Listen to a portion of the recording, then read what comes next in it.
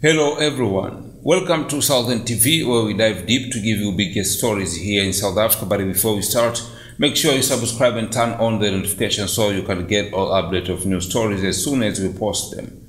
Now let's get started. It seems like the Tshwane City Council meeting is expected to be continuous as they convince to elect an Action SA candidate to the new created position of deputy mayor. The proposal to establish this position have been endorsed by the DA-led coalition government, but opposition parties such as the EFF and ANC are opposed to it considering it unnecessary. EFF regional chairperson Obakeng Ramabodu accuses the coalition party particular Action SA of having personal agendas and seeking political spoils. He suggests that the move to create the deputy mayor position might be driven by the desire for shared political benefit rather than addressing the municipality's urgent needs. Ramabodu expresses concerns that allocating resources for deputy mayor would strain the municipal budget, which is already under pressure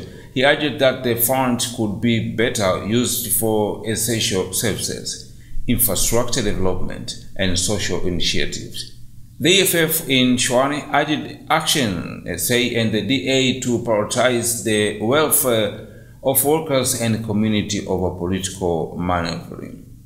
The ANC is also expected to join the EFF in rejecting the move citing deteriorating services delivery and dire state of infrastructure in the city. Despite the opposition to coalition in moving forward with the creation of the deputy mayor position. Action SA has nominated Nasiphi Moya for the role and she has the support for the alliance parties with a combined majority in the council.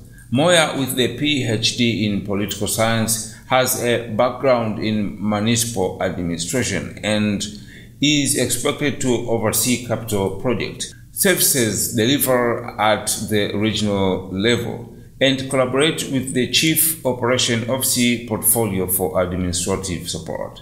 It remains to be seen how the council meeting will unfold, with opposing parties expressing their uh, reservations about the necessity and implications of creating the deputy mayor position. Now, thanks for watching, but if you have not subscribed yet, make sure you subscribe, turn notification on, and share this video, please. Until next time, bye-bye.